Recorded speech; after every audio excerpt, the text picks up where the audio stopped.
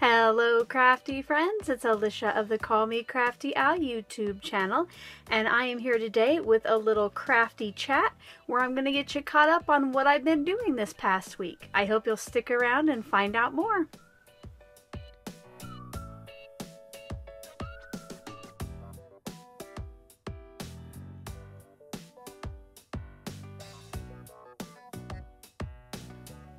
Thank you so much for stopping by today.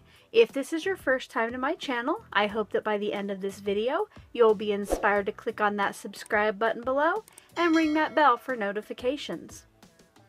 If you're already a subscriber and regular viewer, welcome back. I'm so glad that you're here again.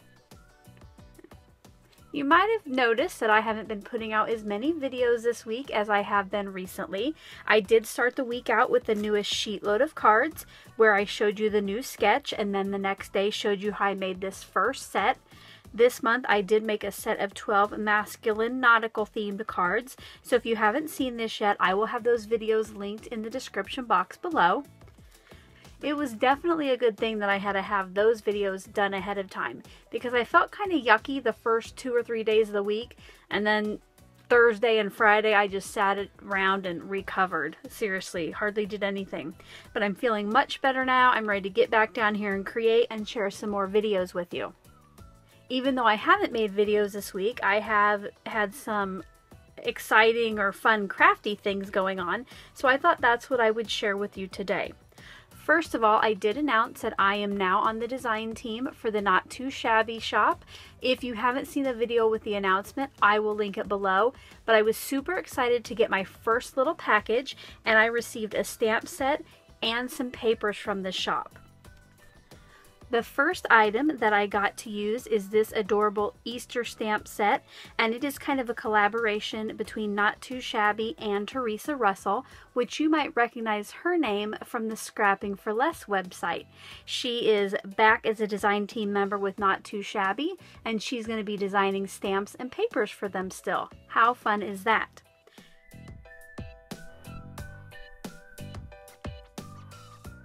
And the next product that I get to share with you is the Dots for Spring paper pad. And what I love about this is it's double-sided, it's beautiful spring colors, and there are dots on both sides. On the front is an average size polka dot paper, good for card making, nice and small. If you flip it over, there are even smaller polka dots. It is so cute and it comes in so many great colors for the upcoming season. I will have both of these products linked in the description box below, and I also have a discount code that you can save 10% on most of the items in the store. So if you check that out, I hope that you'll use my link. I was able to get crafty a little later in the week. On Friday, my sister and I did a little Zoom session while we both kind of cleaned up our craft areas. And I made this spring card, which is actually a clear card, for my friend Danny's There's a Stamp for That challenge group on Facebook the latest challenge. It could be spring or bunnies or shamrocks. So I decided to go with spring and I use this stamp set that I've had for years from There She Goes Stamps and I use some Zig Clean Color Real brush markers to color that in.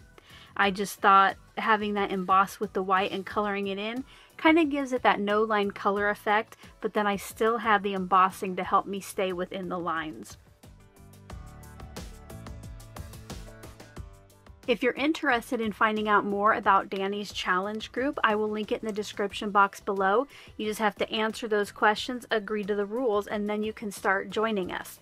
She puts out a new challenge every two weeks, and it is kind of built so that you have something in your stash to participate.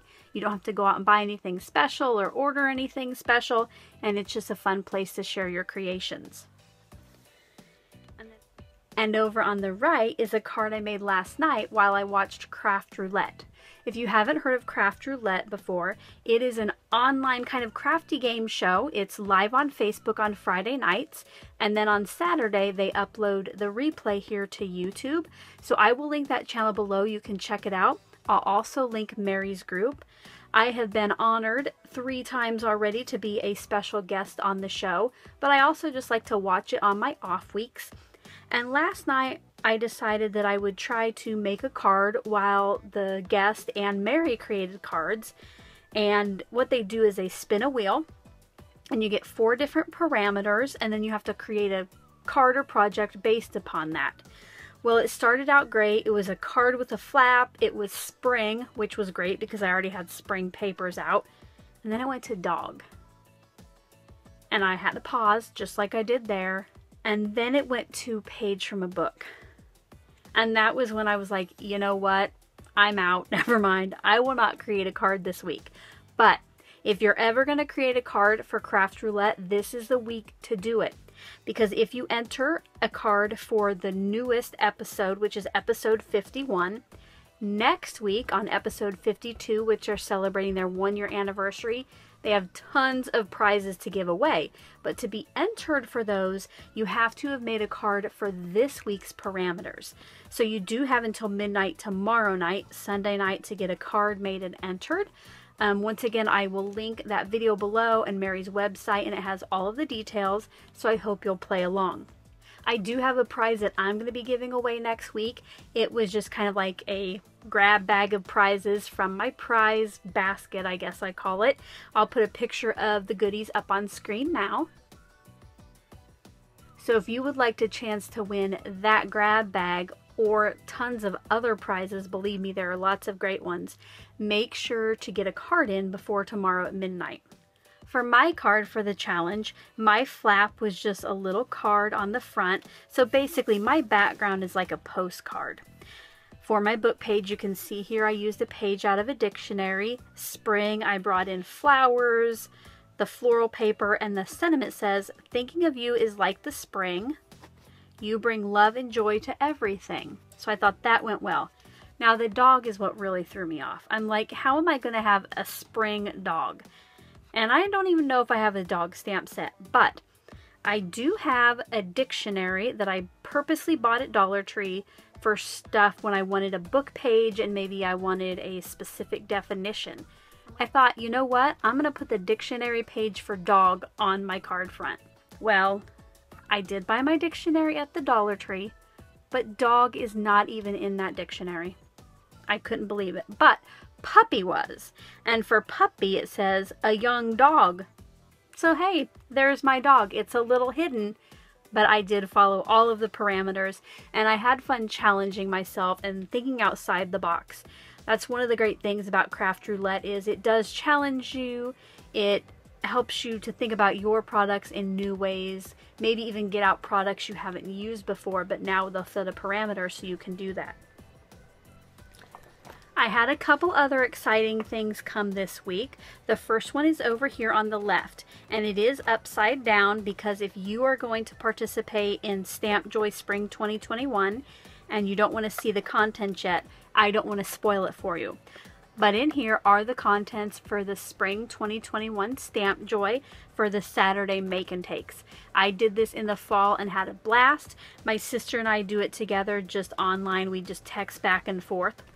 And they're to have an unboxing, but my sister and I decided to go ahead and open up the box just while we were on Zoom. So we did that on Friday. We got a little sneak peek of what we're to be making, and I cannot wait. Here's a little quick peek. Did you see anything? And before we get to the final item that I want to share, I do want to remind you about my Share the Love giveaway in celebration of my 15,000th, almost 17,500th subscriber to my YouTube channel. You still have until midnight on March 14th, 2021 to enter. I am giving away six $25 gift cards. It is open to anyone 18 years and older who is a subscriber to my channel and it's open to international as well. I will link the video with all of the details in the description box below. I hope you'll check it out and consider entering. Oh, and bonus, if I do hit 17,500 subscribers by the 14th at midnight, I'm going to give away one extra $25 gift card. So it's up to $175 in prizes. And, and finally, some happy mail for the week. I received my personalized stamps that I ordered from rubberstamps.com. I recently became an affiliate with them and I didn't realize all they did until I went to their website and I had been kind of messing around recently with a new logo for Call Me Crafty Al and I came up with one that I thought was cute and I'm like, hey, why don't I get myself a personalized stamp? So I created my logo and I was going to make an address stamp, I believe, was all I was going to do. And then I went and priced it and it's priced depending upon the size and I was to get like one single address stamp for like $6 or something. But I saw that you could get up to a 4 by 4 inch stamp for $8 plus shipping. So what I did is I designed my file with, well, you'll see it here in a minute, but I designed it with multiple images that when I got the stamp, I could just cut them apart because you know, it's pretty easy to cut apart clear stamps. So that's what I did and I got it and I just tried it out here real quickly so I wanted to show you.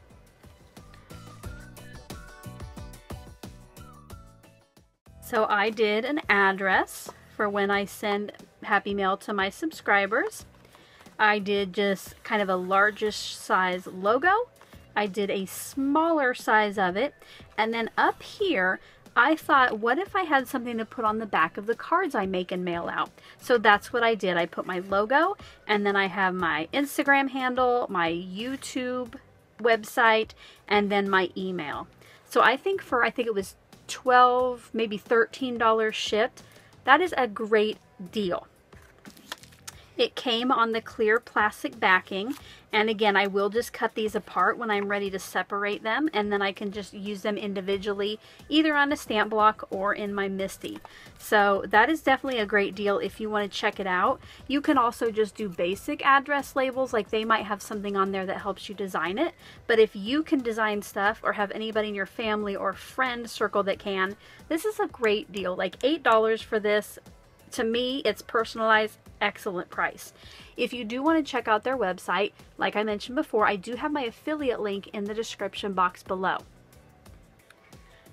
I hope you enjoyed seeing and hearing what I've been up to this week. I hope to be back really soon with another project video for you. Until then, I hope you're all having a crafty day. Bye-bye.